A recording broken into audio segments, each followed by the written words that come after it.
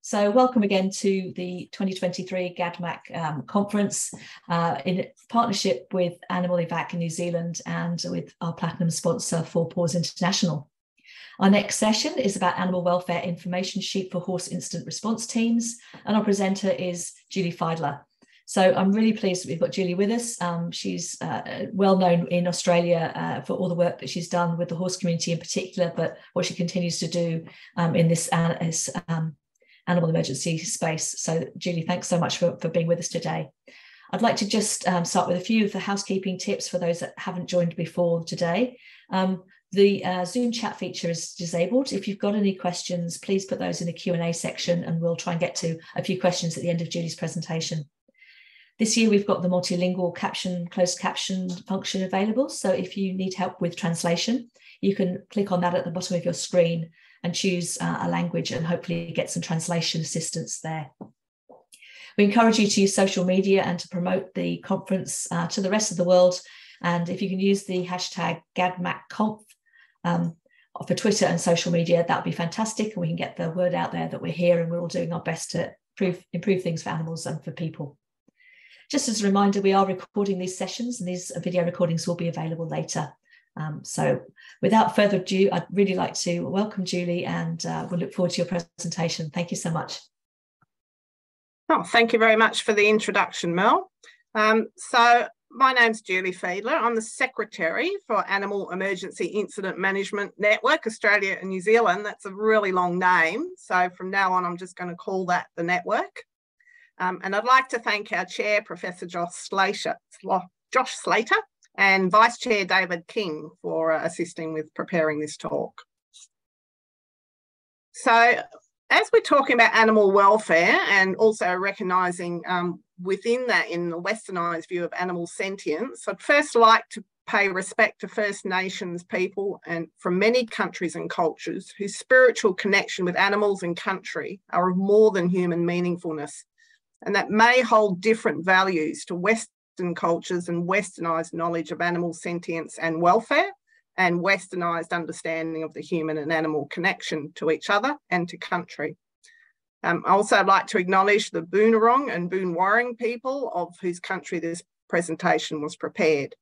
Um, what I have on the screen there are the four totem animals that hold special meaning for local Indigenous peoples. At, and they're presented at the Melbourne Veterinary School within the building.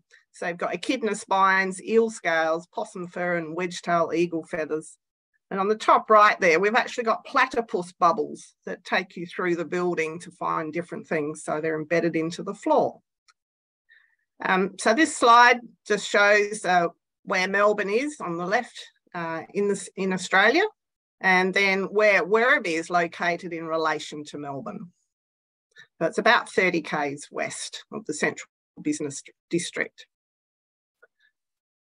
Um, in regard to animal welfare laws in Australia, um, Australia is a federated country, so there are like eight states and territories, each with their own act and regulations. So RSPCA Australia has a list of these on their website and I'll put a click through link on this slide. Now this presentation has been uploaded to um, the network's website and many of the pictures and, and, things I have in this presentation are hot linked. So you'll be able to click through and, and download uh, whatever I'm talking about. So New Zealand uh, is lucky enough to be one jurisdiction. So um, they're not impacted in the same way as Australia. That also, as well as the animal welfare laws, um, the emergency management acts differ in each state and territory.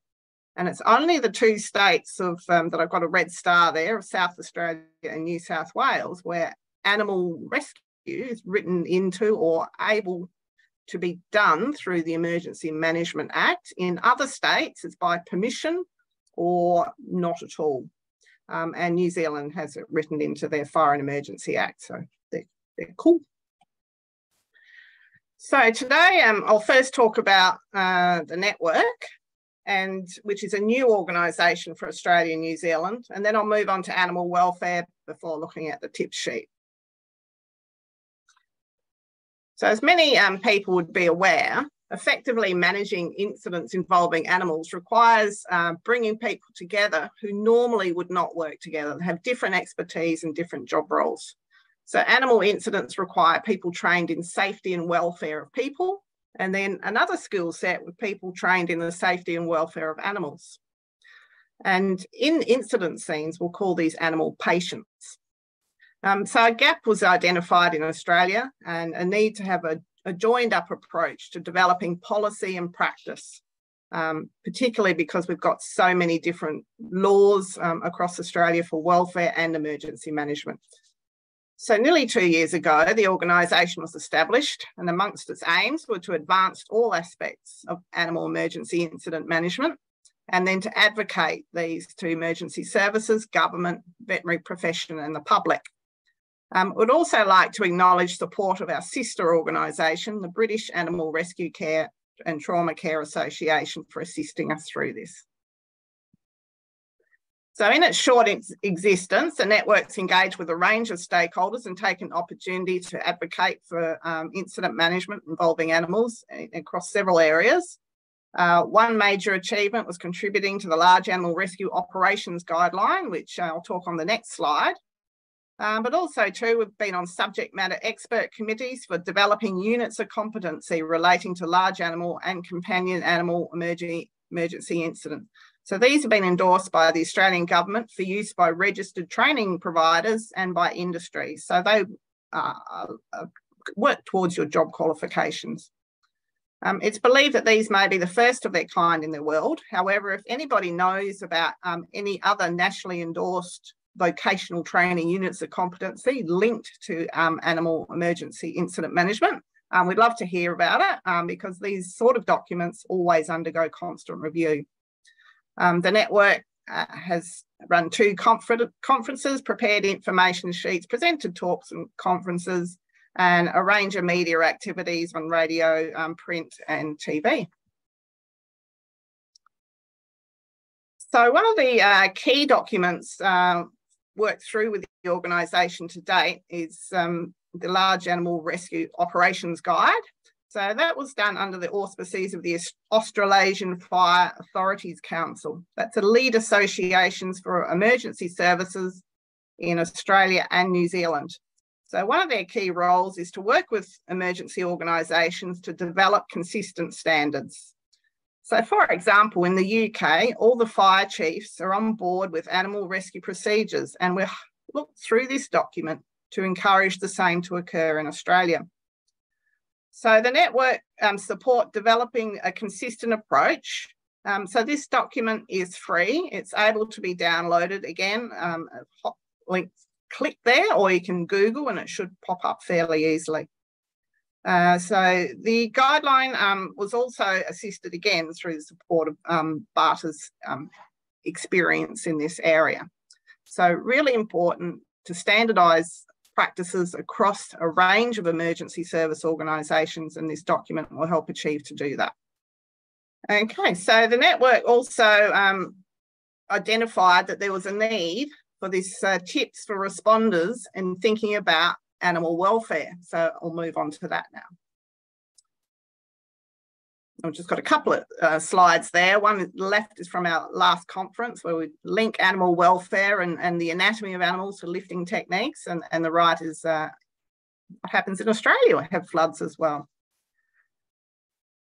Okay, so one thing I'd like to talk about first, which uh, everyone be aware of, is uh, the power of social media and the concept of social license to operate, which is the public perception of the operations of an active of an organisation.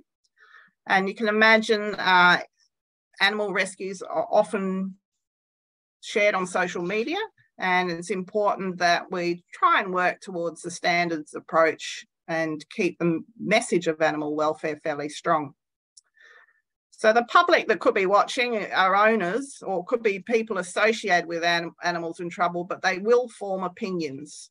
And these perceptions of how we do things as well as what we do um, is really important because it uh, ensures that we're able to keep going and doing what we want to do, but we must make sure it's done to a standard.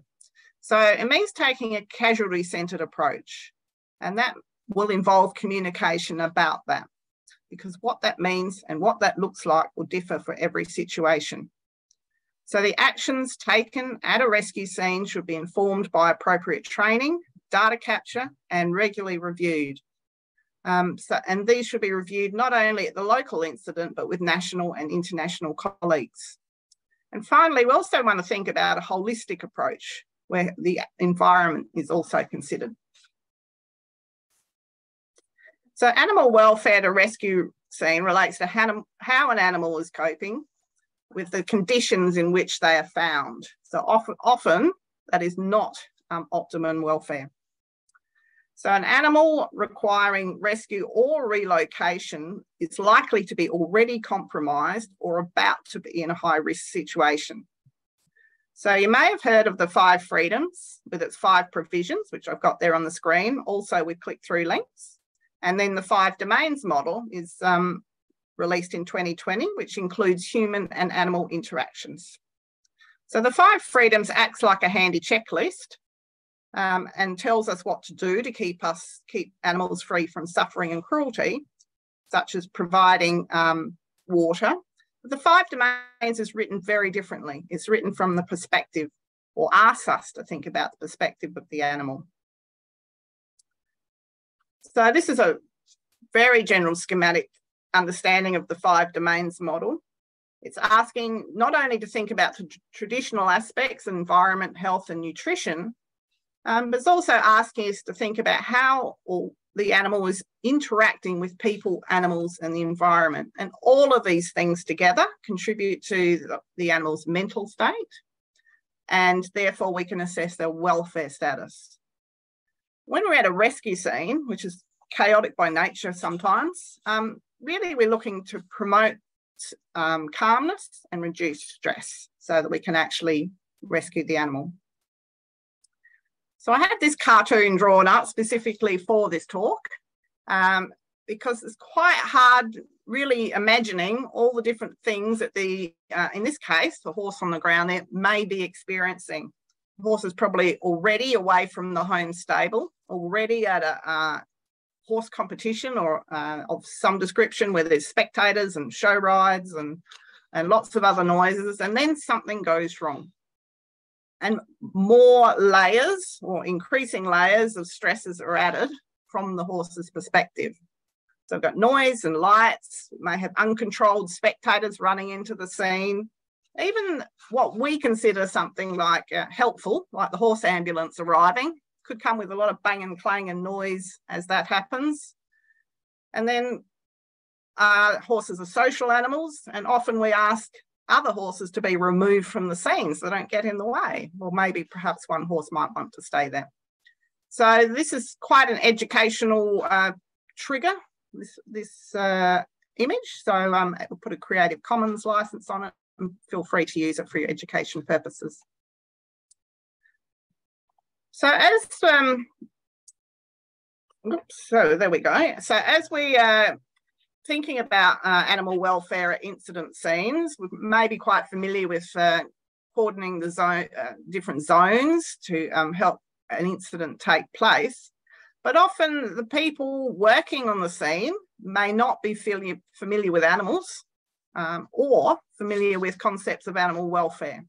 And that is the role of the veterinarian uh, most often um, when they're involved. So what we thought about doing uh, was preparing a tip sheet or an information sheet that helps responders who may not be familiar with a range of animal species, but in this particular case, large animals and, and horses, um, to help people ask what questions should I ask and what kind of things should I be thinking about.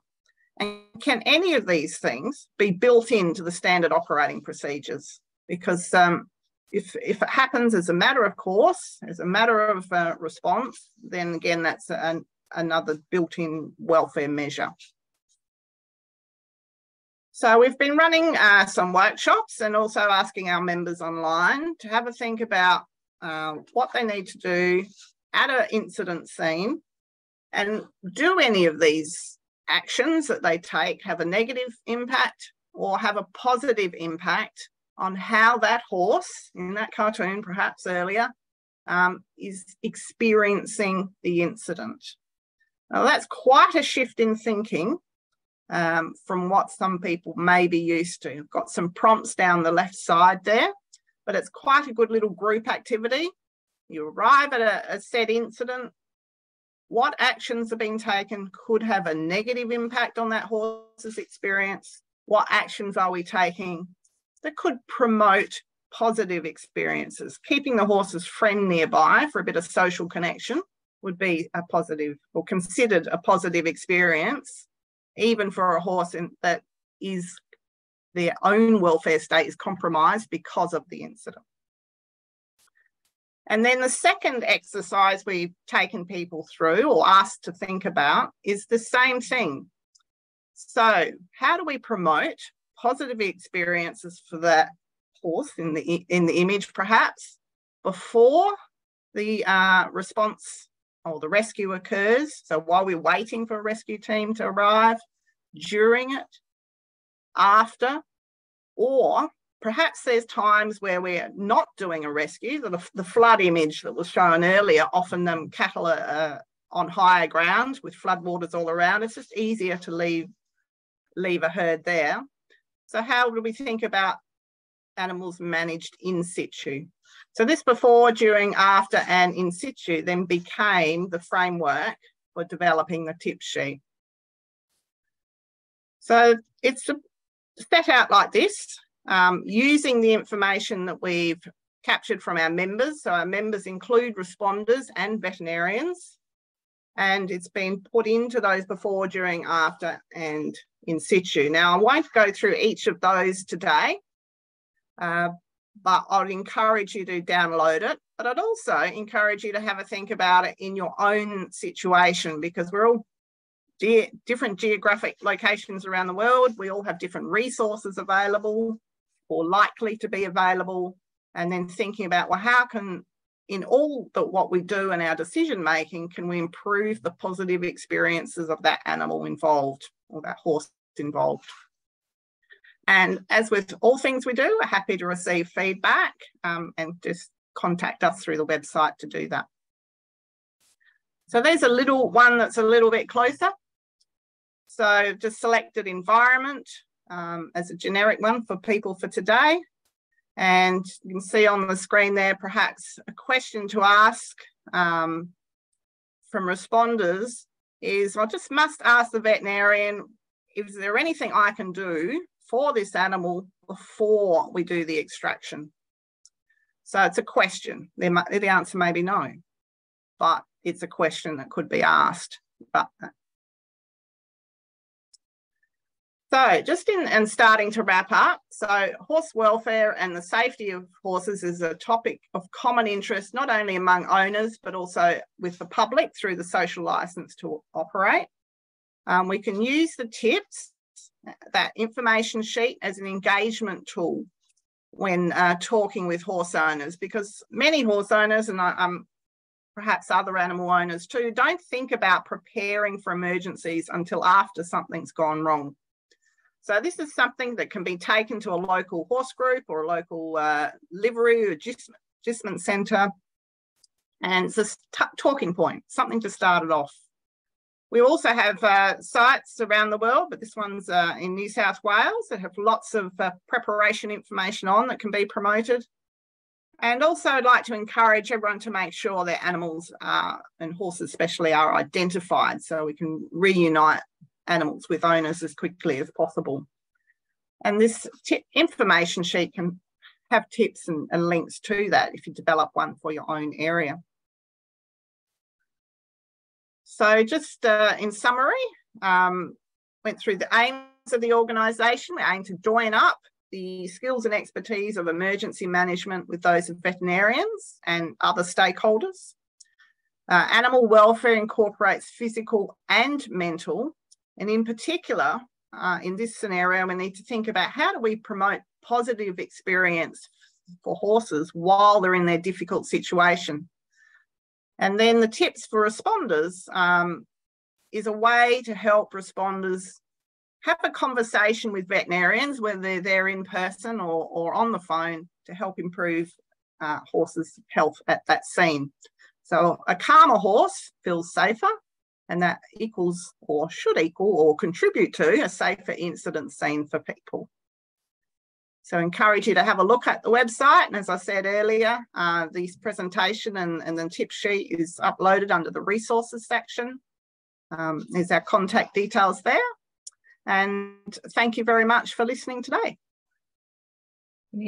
Thank you so much, Julie. Um, really appreciate uh, all that expertise that goes into these things. I mean, certainly having been a bit of a spectator um, of your activities and those of the rest of the team for a number of years now, I really appreciate the professionalism, the knowledge that goes into this, and as you said so so eloquently in your presentation, just the thought about about these experiences from the perspective of the horse. And I think we all probably in this audience, you're probably talking to the converted, but we all I think appreciate the you know that that's that's not an obvious thing for some people to consider at the front end of this um, and uh, so I think to have that explicit and to have the generosity of your resources there available for all of us to share for free and to use that expertise is just a fantastic thing for, for, for Australia, for all Australian horse owners, but also globally now as well.